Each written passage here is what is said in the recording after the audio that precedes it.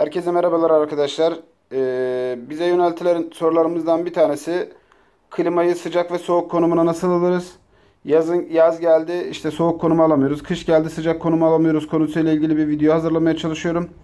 Ee, sizin de farklı sorularınız olursa sayfanın altına yorum yapmayı unutmayın. arçelikservisi.tv sitemize e, ziyarete bekleriz. E, lütfen sayfamızı beğenmeyi ve videolarımızı beğenmeyi de unutmayalım. Şimdi klimamızda e, şu anda işte şurada gördüğünüz ok yıldız işareti var. Yanındaki ok işareti de e, yıldızı gösterir. Bu konumda klimamız soğukta. Bu yeşil buton mod butonudur. Klimaların e, modeline göre değişiklik gösterebilir ama genelde mod veya e, soğukluk değişikliği için bu gördüğümüz yeşil butonu kullanıyoruz. Mesela buna bastık nem alma, fan, e, ısıtma ve iyonizasyon işareti. Tekrar basıyoruz. Şu anda soğutmada. Derece içinde yukarı ve aşağı tuşlarımızı kullanıyoruz. Mesela e, şöyle göstereyim. Mesela şu bu şekilde ısıtıyor. Bu şekilde de daha fazla soğuğa ayarlamış oluyoruz. 18'den de yukarıya aşağıya inmiyor.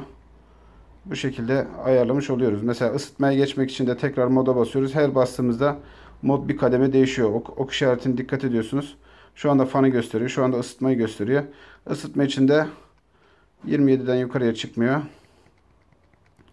Isıtma konumunu da bu şekilde sağlamış oluyoruz arkadaşlar. Bir de burada e, klima kumandasında fan ayarını gösterelim. Şurada yukarıda görmüş olduğunuz gibi ok işareti fanın en yüksek kademesini gösteriyor. Buradan her bir bastığımız zaman fanımızın ayarı değişecektir şurada. Bakın en en yukarıda tekrar basıyorum en aşağı iniyor. Tekrar yukarıya çıkıyor bastıkça. Yani klimamızı ayarlamalar aşağı yukarı bu şekildedir.